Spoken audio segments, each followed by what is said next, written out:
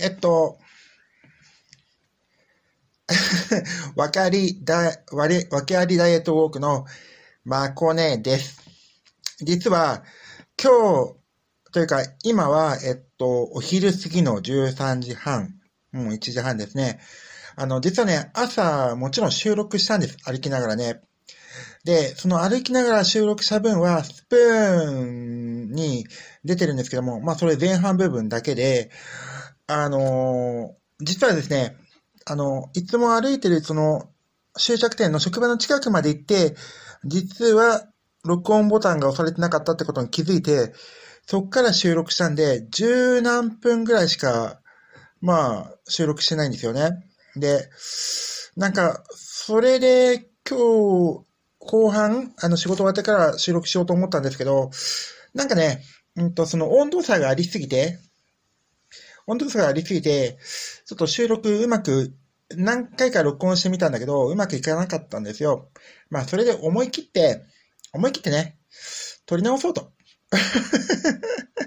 撮り直そうと思いました。そんなわけで、改めまして いつも歩きながら喋ってるからね、あの、ちょっと、あの、感覚おかしいんですけども、改めまして、あの、わけありダイエットウォークのまこねです。今日は特別お昼からやってます。で、ワッキャリーダイエットウォークでは、あの、LGBTQ の Q のクイアの私のちょっと男性的な部分にフォーカスしながらお話していきたいと思ってます。はい。まあ、そんなわけで、今日はね、あの、いつもはね、えっ、と、自分の言いたいことを考えながら、あの、うんと、出勤準備してたんですけども、今日はね、ちょっと昨日の WBC のまあ、WBC に関してお話ししていきたいなと思っています。はい。まあね、WBC の話題はもう、あの、インター、YouTube 見ても、どこ見てももう WBC、WBC、あの、日本おめでとうみたいな感じで、まあ、バンバン出てるので 今更なんて話なんですが、まあ、あの、うんと、私はあの、実は WBC、今回は、私個人としては全然盛り上がってなくて、うん。あの、えっと、準決勝のメキシコ戦の最後をちらっと見、えっと、決勝戦の最後をちらっと見みたいな感じだったんだけど、あのね、うんと、野球が嫌いとかスポーツが嫌いってわけじゃなく、どちらも好きなんです。どちらも好きなんだけど、なんとなくね、あのー、テレビのない生活をしていると、あの、まあ、私の情報源って、あの、まあ、ほぼ YouTube なんですうん。だとい、かといっても、あの、えっ、ー、と、今、この、うん、このね、えっ、ー、と、ポッドキャストやりながらとか、あの、YouTube 発信しながらだと、まあ、あの、YouTube を見るのも、まあ、寝る前のね、10分とか15分ぐらいなもんで、あの、あまり見てもいないんですね。まあ、それで気がついたら、WBC やってて、気がついたら終わってしまったみたいなところが、本当のところで、あの、乗り遅れてる感たっぷりなんです。うん。まあ、逆に、ワールドカップサッカーの時は、私はね、こ、今年ってからの、今までのワールドカップの中で全部一番見た試合を見たんじゃないかってぐらい見たんですね。そう。その分、あの、まあ、WBC はあまり見なかったのかな、なんて思うんですが、皆さんどうでした？あの、皆さんの周りで WBC 盛り上がっていました？私の周りは、あの、ワールドカップサッカーの時もそうだったんですけども、誰も盛り上がってなくて。というか、私の周りあんまりね、あの、職場で会う人以外に あの、ばったり会ったってそういうこと、本当今ないので、まあ、あの、人に会ってないってことは、まあ、そういう話題もないっていうことだと思うんですけども、えっと、まあ、職場の人でも、ワールドカップの時は、明日決勝戦だ、決勝戦だねとか、今日西ドイツ、西ドイツじゃなくて、ドイツ戦だねなんていう話ぐらいはお姉さんたちとしたんだけど、まあね、格段、あのー、見ていて、というか、テレビで見る程度、ニュースを見る程度、ニュースでやってるのを見る程度みたいな感じだったみたいですね。まあ、あの、同世代よりもっと下の世代と一緒に仕事している職場の方は、まあ、ワールドカップ中何度も会ってるのに、一回もサッカーの話題は出なかった。私が仕事しながら、あの、サッカーの中継を、あの、あの、うんと、ストーミングで流してても、まあ、誰も関心を示さなかった。まあ、そんなわけでですね、私の中では、まあ、サッカーも野球も、その、えっと、YouTube とかで盛り上がってるほど盛り上がってないんじゃないかなっていうのが、まあ、心の本音だったりします。まあね、えっと、なんだろうな、うんと、まあ、テレビがあれば、まあ、うんと、テレビが、私の部屋にはテレビないですが、まあ、テレビでやってると、テレビ中心に生きてる人たちはやっぱ盛り上がってるって感じるんでしょうね。そう。で、インターネットの世界中心だと、まあ、あの、自分が見てるチャンネルとか自分が関心があるチャンネルならね、見ますけど、それ以外って、まあ、あの、タイムラインの中にもあんま出てこないじゃないですか。だからまあ、あの、うんと、あんまり気づかないまま終わってしまったみたいなのが、まあ、本当のところ。そう。まあ、それでもね、うんと、私、あの、やっぱ、あの、ワダブル、うんと、WBC の、あの、い、そう、1回目、14年前、1回目だから、17年前と14年前に優勝した時は、やっぱね、あの、かじりつくように見てました。うん。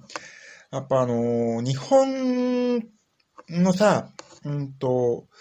お家芸じゃないけども、あのー、私はやっぱり野茂選手とか、イチローとか松井があの海外にチャレンジしていった頃をやっぱり思い出すんですよね。そう、今はいろんな選手はま海外であの活躍されてますけど、野球にしろ、サッカーにしろ。まだね、あの、うんと、あの、アメリカから優秀な選手を連れてきて、助っ人としてみたいな時代だったかな。そう。で、だからアメリカはもう本当偉大な野球、ベースボール先進国で、で、野球に追いつけ追いつけみたいな、その、日本はまだ後進国っていうような感じのニュアンスだったんですよね。うん。まあ、それが、あの、時代を超えて、あの、もう、あの、対等な立場で戦って優勝したっていうのは、あの、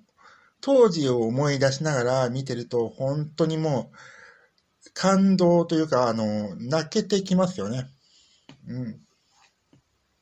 そう。勝負に、まあ野球の、あの、試合に勝ったってことよりも、あの、あの、あのアメリカのベースボールに肩を並べて、そして、あの、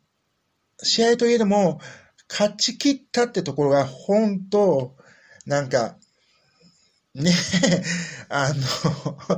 黙みろって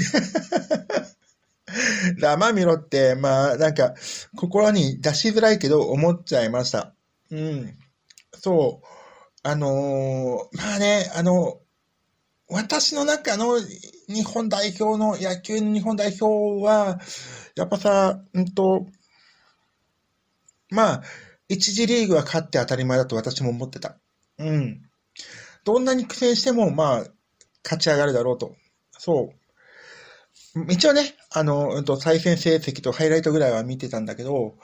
まあ、あのー、当時ね、あの、私が知ってるやつの昔の、まあ、あと、2000年ぐらいの話 ?2000 年、2000年代ぐらいの話をぶり返すような感じだけども、やっぱ、あの、近隣のアジア圏のチームも強かったんですよ。韓国にしろ、台湾にしろ、そう。でも今は見る影ないでしょ？うん。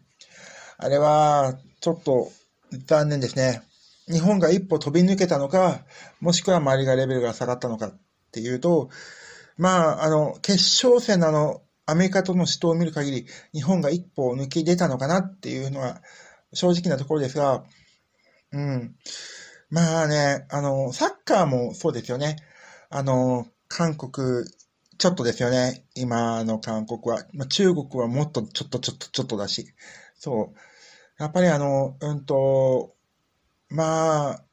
お給料いっぱいもらってるリーグがいいわけじゃなくて、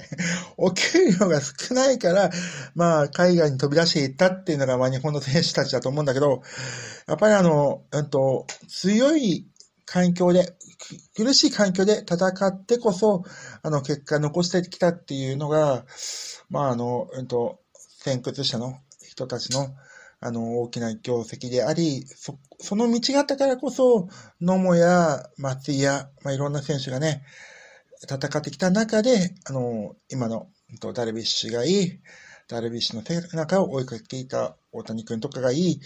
まあ、また大谷君を追いかけていく選手たちが、まあ、どんどんね、日本でも海外でも活躍していくんだろうなと思うと、本当あの、野球はもう、あの、もうベースボールっていう言葉をやめて、世界共通用語で野球でいいんじゃないかっていうぐらい、まあ、誇らしい気持ちですよね。うん。まあ、サッカーは、あの、フットボールとサッカーは、あの、二つの呼び方がありますけど、そう、野球はもう、野球なんだなって、うん。っていうふうに、本当思いました。うん。まさにね、私なんかあの、あの、にわかスポーツファンで、あの、見るときはですね、ものすごくあの、一生懸命あの、野球でもサッカーでも見るんですけど、見ないときは本当点って見ないで。そう。まあそういう意味じゃね、あの、うんと、改めて WBC についてなんて言うと、もう背中こっちばしくって話すことなんか何もないんですが、でもね、やっぱあの、うんと、昨日のあの、最後のね、最後にチーミング、最後のあの、ダルビッシュの、あの、ダルビッシュじゃなくて、あの、うんと、一回は本当になんか、すごいものを見たなっていう感じでした。はい。そう。だって、あんなのさ、あの、どんな、あの、野球漫画にもないよ。どんな野球漫画にも多分出てこないような終わり方。そう。うん。なんかさ、もう、うんと、あの、作家さんが書けないようなストーリーだよね。そう。作家さんがあれ書くと、もうできすぎちゃってるストーリーなわけじゃん。うん。そこがあるってのがやっぱスポーツの面白さかな。オリンピックだって毎回そうじゃないですか。必ずなんか、もう本当、こんなストーリーあるのっていうことが起こるじゃないですか。ワールドカップにしろ、うん、サッカーにしろ、ラグビーにしろ。ラグビーがさ、あの、うんと、ワールドカップでさ、劇的な勝利を収めた時も、ほんとさ、すごかったよね。西ドイツが勝った時、西、あの、ワールドカップのサッカーで西、あの、西ドイツじゃなくてドイツに勝った時さ、私もあれ勝つとは思わなかったもん。前半見てて。そう。いや、ほんと奇跡が起こるっていうのはこういうことかと。うん。まあ私は、あの、サッカーに関しては、日本はね、あの、優勝してもおかしくないだけの実力はあると思ってるんですよ。そう。間違いなくっていうわけじゃないけど、何か何かのきっかけとタイミングとチャレンジと、あの、何かがあれば、まあ、あの、スルスルと抜け出して優勝する可能性もあるチームだと思ってます。うん。そう、サッカーに関してはね。そう。だからまあ、あの、うんと、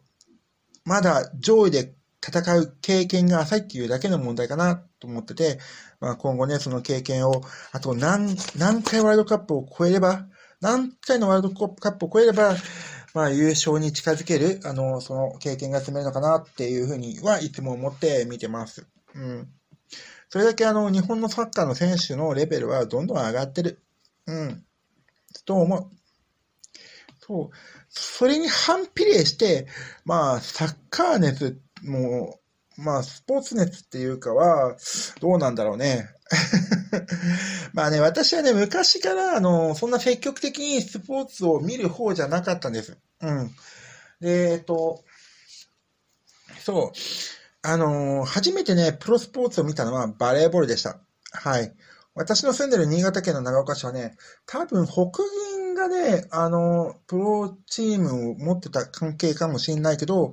あの、プロのね、女子バレーボールチームがあったせいかもしれないけど、あの、昔はね、年2回ぐらい、年1回か2回ね、あの、日本代表レベルの試合が、あの、長岡でバレーボールやられてたんですよ。だから、結構身近にね、バレーボールのね、あの、世界レベルの試合が見えたんですけど、そう、まあ、ここ、もう、もう何年もないね、どういう関係かちょっとわかんないですけども。そう。で、私自身も母親がバレーボールやってたんで、その関係でバレーボールを始めて、中学校はバレーボールをやってたんですが、ただね、あの、私はね、うんと、同級生にね、サッカーすごい上手い奴がいて、一緒にサッカーして遊んだりした関係で、まあ、あの、もしサッカー部があったらサッカーをやってたかなどうかな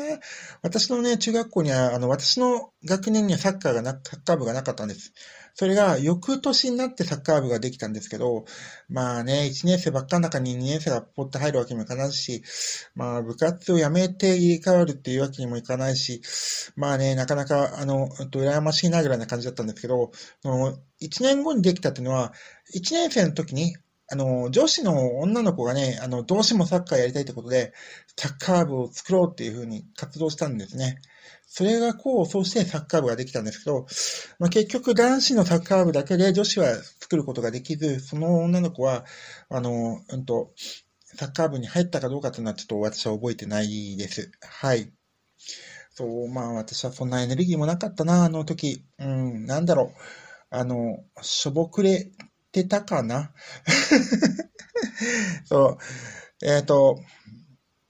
まあね、あの、コミッションはコミッションで、やっぱあの、私あの、二十歳過ぎて居酒屋で強制的に、あの、いろんな人と会話するようになるまでは、やっぱね、人と話すの苦手でしたね。はい。まあ自分の考えをパッて聞かれて答えるのも苦手で、そう、まあ、未だにそうですけどね。ここにいうね、フリートークで喋ってる上には、なんか頭の中で喋ることを整理しながら喋れちゃうんですけど、あの、人と向かい合ってる時に、あの、自分の考えてることをパッて聞かれると、やっぱなかなかね、普段から考えてるようなものじゃないと出てこないですね。それはまあ、人それぞれじゃなくてみんなそうだと思うんだけど、私だけが特別ってことはないと思うんだけど、皆さんどうですか？そう。まあ、あの、写真に関してとかね、あの、IT 関係とか、まあ、には割と自分が普段から関わってて、いろいろ考えてる分野は、まあ、パッと出てくるんですけどね。うん。そう。だからまあ、WBC について語ろうって言い始めた私が、おい、これは誠お前自分でそんなこと言っていいのかみたいな。そんな感じすらする。そう。ただね、あの、なんだろう。昨日、あの、M キャスの方で、男性と女性のスポーツ感の違いについてお話ししたんです。うん。まあ、その中でも思ったんだけど、あの、まあ、年々ね、あの、スポーツ、団体スポーツにしろ、いろんなスポーツを身近にプレイする方も、見る方も、女性増えてるんですって。うん。まあ男性、男性がどっちかというと減少方向らしいんだけど、女性があの見る率が高くなってきてるみたいですよ。あの、男性と女性でやっぱね、あの、スポーツ見る視点が違って、まあ、サッカーで例えるなら、あの、男性は、あの、サッカーのプレーだったとか、あの、ダイナミックな、あの、ぶつかり合いだとかが、やっぱり興味いく対象らしいんですけども、女性はどっちかというと、チームワークとか、えー、っと、絆とか、えっと、選手の表情とかが、あの、うんと、関心いくところなんですって。うん。まあ、それはそうですよね。そう。まあ、そんな、あの、スポーツの中なんだけど、あの、私はね、小学校の時、空手をやってました。といっても、あの、ジャッキー・チェンに憧れてカンフーがやりたかったんですけども、あの、カンフーを教えてくれるところなんかなくて と、私は、あの、どうなんだろう。はっきりちょっと、お前違うんじゃないのって言われるかもしれないけど、カンフーイコール武道だと思ってたの。うん。ジャッキー・チェーン見て。何も疑わず。そう。でも、あのー、このね、うんと、今年の1月だったかに、カンフーの、その、カンフーの一時代を作った香港映画の、その、その、うんと、まさに時代を作ってきた俳優さんたちのドキュメンタリー映画が公開されたのね。あれを見る限り、あれはカンフーじゃなくてスタントだったんだなと。そう。えっと、まあ、少林寺とか、向こうのカンフーから、あの、来てるみたいなんだけど、どっちかと言ったら、あの、狂撃の、あの、うんと、出し物みたいな感じで、まあ、ストーリーというか、型ができてたっていうものみたいなんですね。うん。それを、あの、知ると、なんか、あの、あと、別にこれからやってもいいんじゃないかな、ぐらい思ってます。うん、カンフーをね。そう。まあ、戦うカンフーじゃなくて見せるカンフーっていうかね、そんな感じで。そう。まあ、私のあの、若い子っていうか、まあその頃っていうと、まあ、プロジェクト X とか、プロジェクト A とか、プロジェクト A2 とかあって、まあほんとジャッキー・チェンとかサモハン・キンポとかがね、活躍した頃で、まあその後の俳優さんとかちょっと私よくわかんないし、あの、カンフー映画も、私もね、その後あんまり見れなくなったんですよね。うん。だからまあ詳しくはないんですけども、あの、カンフーをやりたくてね、空手を習ってたと。まあそもそもね、あの、私も空手とカンフーの違いもわからなかったしね。もちろん、あの、道場に入れてくれたお父さんお母さんもね、あの、空手とカンフーの違いも知らなかったし。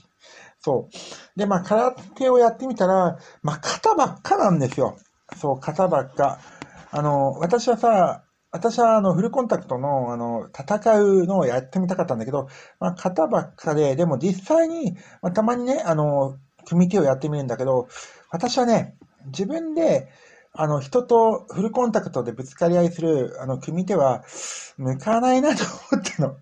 そう。あの、うんと、怖い。怖い。うん。そう。あの、やっぱ痛いの嫌だ。だから、あの、当てられるのも嫌だし、当てるのも嫌だしって感じで、まあ、あの、うんと、ビシッって決める方の方が好きだったのかもしれないですね。とはいえ、あの、小学校上がると同時に辞めて、まあ、小学、高校、中学校は部活、バレーボールやってて、高校は何もしなかったって感じなんですけども、まあね、スポーツ自体すごく好きで、プレイする方、あの、見るのも好きなんですけど、見るのはね、あの、まあ、なんせ何を見ても、にわか。そう。あの、ほんと、盛り上がってる時に盛り上がってる中継を見るって感じ。そう。ただ、あの、と日常的にはあんまり関心を示さないっていうのが正直なところ。そう。まあ、どうしてもあの、もうその選手とかそのプレー、その、そのスポーツを追いかけるって感じではなくて、まあ、やってれば見るって感じ。そう。特にね、好きなのは、あの、個人競技だと、ウィンタースポーツですね。スキー、スノボ、大回転とか大好きですね。そう。うん。そう。ルージュとかも好きですね。うん。あの、あの、狭い通路をザーって滑っていく。だから、ルージュとかね、やってみたいと思うんだけど、ね、日本でやれるところって、まあ、長野ぐらいじゃないですか？まあね、そういう機会がこれからあるかどうかわかんないんですけども、まあ、スキー、スノボーは、ちょっとあの、時間に余裕ができるよう、できてきたら、まあ、ぜひ再開したいなと思うんですね。うん。スキーは、まあ、えっと、中級の上、もしくは上級の芸ぐらいは滑れる。うん。スノーボードは、まあ、中級の芸ぐらいは滑れる。ただ、どちらも自己流なので、あの、本当にね、うまい、あの、私、スキー場でバイトしてたので、スキー場で働くインストラクターの人とかと話してると、あの、本当にガチで上手くなりたかったら、もうゼロから、あの、基本からやり直した方がいいよって言われてます。はい。まあ、ただね、私はあの、そんなね、ガチで上手くならなくても気持ちよく滑れば、滑れればいいんで、まあ、冷圧説のね、あの、まあ、シャドウがあの、30度とか、まあ、30度以上のね、まあ、30とか40ったら、まあ、なかなか急なシャシャドウですよ。30、40ぐらいのシャドウを、もの、冷圧説のところ、もう、ピュンピュン飛ばしながら滑れれば、まあ、最高に楽しいですね。だからって、コブ斜面が得意かったらそんなことなくコブ斜面は基本的に怖い まあ、どれもこれも体重が重いから、あの、とけあのぶつかってこけた時のダメージが大きいだけに、まあ、あの、うんと、コブ斜面が怖いってだけなんですけど、まあ、体重を落として、えっ、ー、と、目標の66キロ、えっ、ー、と、体脂肪率8.7%まで折ったら、まあ、ぜひね、あの、スキーもスノボーも再開したいと思ってます。そう。だからって、あの、サッカーが、あまあ、バレーボールと、バレーボールも、バレーボールもね、ええ、あの、機会があればね、まあ、町内のバレーボールチームとか入れてもらいたいんだけど、まあね、自分でまあそういう機会を、まあ作ってないですね。まあ作ろうと思えば作れるけど、そう、あの、今優先するべきはそこじゃなくてダイエット、みたいな。まあスポーツ、スポーツは楽しいけどね、あの、私のライフ、ライフスタイルの時間と今合ってないから、ちょっとやってないですね。うん。あと、うんと、サッカーもね、フットサルとかね、のチームとか、まあぜひ入ってみたいなって。うん。面白そうじゃないですか。そう、サッカー、フット、フットサル。うん。まあ、フルサイズね、サッカーはちょっとね、ちょっとまあ、どうかな、なんか、うんと、これからやろうって気はしないんだけど、まあ他にね、野球もね、まあ、あの、前はね、あの、うんと、フットボールのチームによく誘われて、まあ、あの、試合に出たこともあったんだけど、そう、まあ、あの、うんと、なんていうかな、あの、野球のね、リズムが あまり私には合ってない感じがするんだよね。そうそもそも横向きで、あの、球が飛んでくるのが怖い。だから、あの、キャッチボールは好きなのよ。キャッチボールは好きなんだけど、あの、うんと、そう、あの、うんと、飛んでくる球、高く飛んでくる球とかキャッチするのとか、なんかね、あんまり好きじゃないんだよね。せいぜい離れて30メートルぐらいのキャッチボール。それくらいが楽しいみたいな。そう、そんな感じで、うんと、まあ、どれほど WBC が好きかってわけでもないんですが、そう、昨日の決勝戦は、やっぱりね、感動しましたね。そう。今この放送の中で同じことを喋ったっけ？喋った気もするけど、まあいいや。そう。まあ感動したというか、まああの、私はね、あの、スポーツ何見てもすぐ感動して泣いちゃうんですけども、まあ、多分に漏れず、昨日も泣きました。はい。でもね、あの、思い出すだけで声が震えてくるぐらい、私は泣き虫なんですけど、そうですね。うん。あの、第1回 WBC, WBC で日本が勝った時も、第2回で優勝した時も、泣いたな。泣いた。うん。なんでだろう。うん、すごい泣けた。でも、それ以上に今回の WBC は、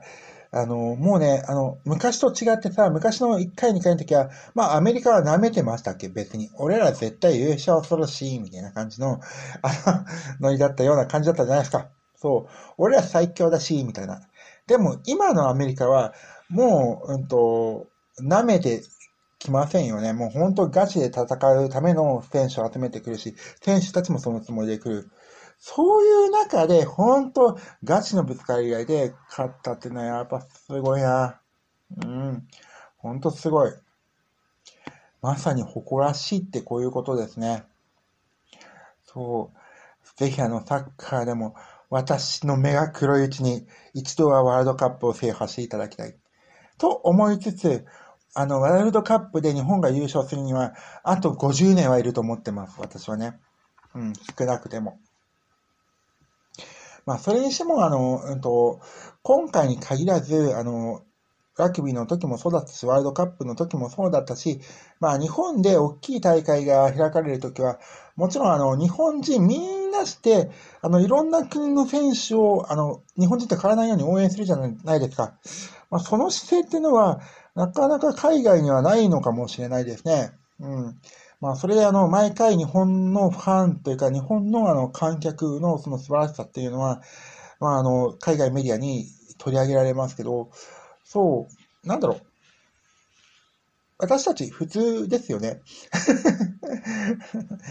だって、やっぱな、あの、うんと、2002年のあの、日韓ワールドカップの時も、あの、私の近く、私が住んでるとこから車でまあ2、3時間のところで、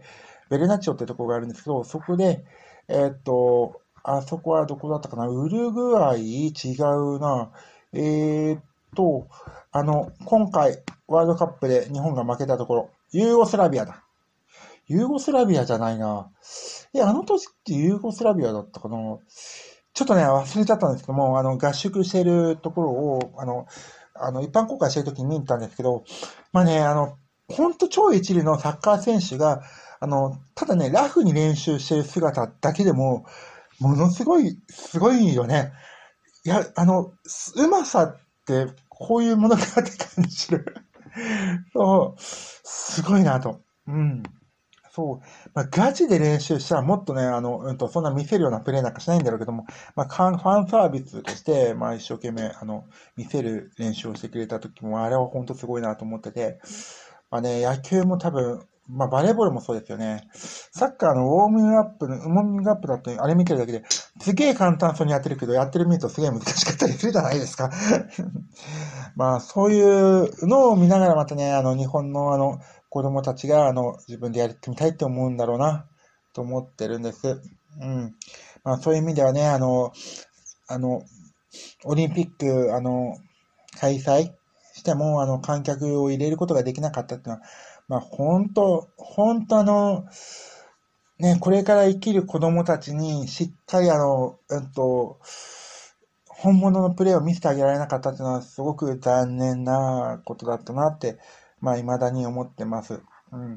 まあ、それだけね、私はあの、うんと、まあ、子供がいるわけじゃないんですけども、もしね、子供がいれば、あの、スポーツの、プロのスポーツの試合やっぱりいろいろ見せてあげたいななんて思って見ているんですよ。そう。まあ逆に私の父親は私にいろんな美術展とか美術展とか美術館とか、あの、本当国内外一流のそういう展覧会には本当よく連れて行ってくれました。うん。そう。まあお父さんもね、なんかあの、うんと、あの、スケッチのね、あの、画集とか持ってたぐらいだから、絵描くの好きだったんでしょうね。そう、画家にもしかしてなりたかったのかもしれない。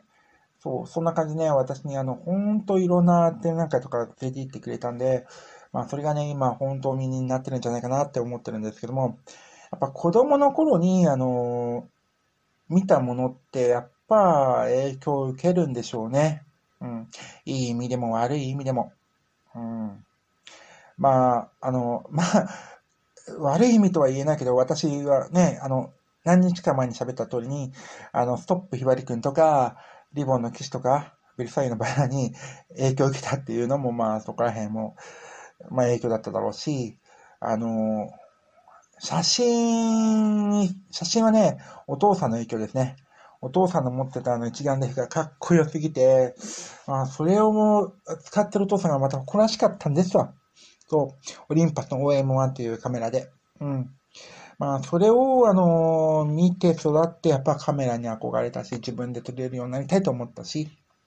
そう、まあ、そういう意味じゃね、あの、うんと、どんな影響でもね、あの、私はいつもこういうふうに思ってるんですよ。私より1秒でも遅くに生まれた人は、みんな私よりも可能性があると思ってます。逆に、私より上の人たちはいっぱいいるわけですよ。私より上の人たち。でも私より上の人たちより私の方が絶対可能性があると思うし、私の方が1秒でも早く生まれたなら、この人たちもよりも絶対私の方が偉くなる可能性があるというか、偉いと思ってるし。そう。それだけに私は、あの、普段から自分より年下の人たちの、に対する、対するリスペクトは欠かさないようにしてます。私はね、あんまりでっかいことは言えないんですけど、年上の人にあんまりリスペクトしないんですよ。さほど興味がない。お前ら私よりちょっと長く生きてるだけだろ、この野郎ぐらい思ってる。でも、自分より年下の人たちの頑張りってのは、ほんとすごいなって思ってますね。で、年齢が上がれば上がるほど、あの、活躍してる下の子たちっていっぱい出てくるわけじゃないですか。それを見ながら、いや、私は何やってるんだろう。もっと頑張らなきゃって本当いつも思います。うん。それはまあ、どの分野ででもですね。だから、あの、ダルビッシュの、あの、ストイックすぎる食生活とかね、まあ、プロ選手のその、ストイックさとか、あの、まあ、一流選手は、サッカーも野球もやっぱ長く続けている一流選手は、やっぱり数しかり、えっと、長友しかり、えっ、と、大谷選手はまあ若いけど、あの、ダルビッシュしかり、まあ、あの、長くやってる選手は、やっぱりさ、あの、体に関してほんとすごいですよね。栄養管理から。やっぱり一流の選手、やっぱり一流、一流なんですっけ？一流にしろ。そう。そのあの、うんと、そのね、食生活とか、あの、日々の、あの過ごし方なんか、本当もう、リスペクトしてもし足りないぐらいですよね。そう。うん。まあ私はね、やっぱダイエットしても食べたいっていう欲求に負けちゃうこともあるし、そう、私にとってみれば、今私がダイエットをしてて食べてる食事っては、あの、うんと、素晴らしい女性になるための素敵なわけであって、あの、私のお腹を満たすためじゃなく、私の美を鍛えるための栄養素でしかないわけですから、あの、もっとね、食事に、あの、えっと、お腹いっぱいになる食事じゃなくて、私をきれいにする食事に、私の人生を明るくする食事にもっとリスペクトして、あも今日から、あの、また素晴らしいダイエット生活に戻りたいと思ってます。そう。うん。いやー、やっぱね、うんと、なんだろう。あの、スポーツ選手の一流さ、まあ、あの、あの、芸術家の一流さとはまたちょっと違う側面が多く、まあ、やっぱ体が資本ですからね、そこはね、本当ちょっといろんな人の本を読みながら、また、あの自分なりに研究してみたいと思います。はい。まあ、数年前に長友選手の、あの、食事に対する、あの、考え方とかね、の本を買って読んだことがあるんだけど、まあね、もう、あの、管理栄養士もぶったまげみたいな感じ。それは大友選手も、そう、そう、大谷選手もそうなんでしょうね。WBC にしても。うん。だからまあ私もね、あの、もっと研究に研究を重ねて、自分のあの理想に、理想のために、えっと、いろんな研究を、と研鑽を積んで、素晴らしい、素晴らしい、ポッドキャストを発信できるとともに、えっ、ー、と、素晴らしい女性になりたいと思います。はい。でですね、うん。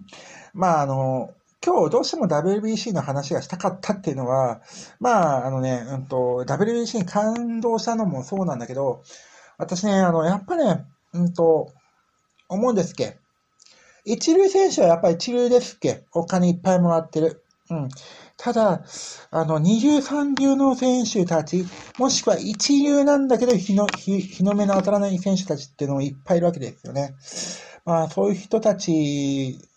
が、本当にあの、不遇な、不遇な中で頑張ってるというのを、を知ってたりするわけですよ。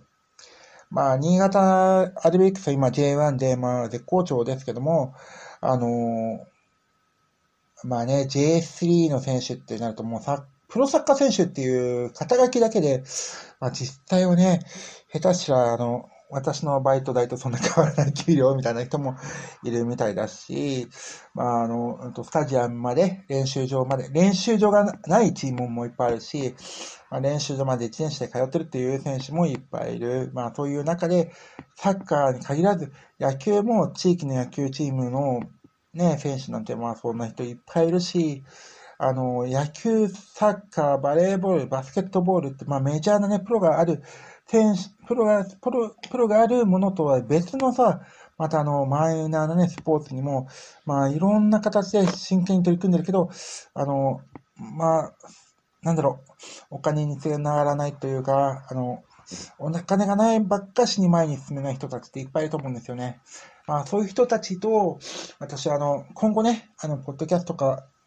YouTube かわかりませんけど、まあ、Zoom でもいいと思うんです。なんかあの、いろんな形でコラボしながら、いろんなお話をお聞きして、なんとかね、あの、その人たちの活動に協力できるようなことをやっていきたいなっていうふうに、今日、本当あの、WBC の話をしながら思いました。そう。まあね、あのー、これで今日は終わりにしたいと思うんですが、まあ、今週はね、今日が最後です。はい。で、また来週、月曜日、皆さんにお会いできることを、もう楽しみにして、まあコロナに万が一かかったとしても、まあ部屋で収録できますからね。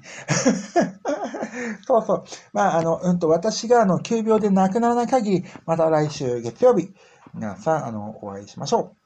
う。では、まこねでした。今日も最後までお聴きくださりありがとうございます。そんなわけで、またね。バイバイ。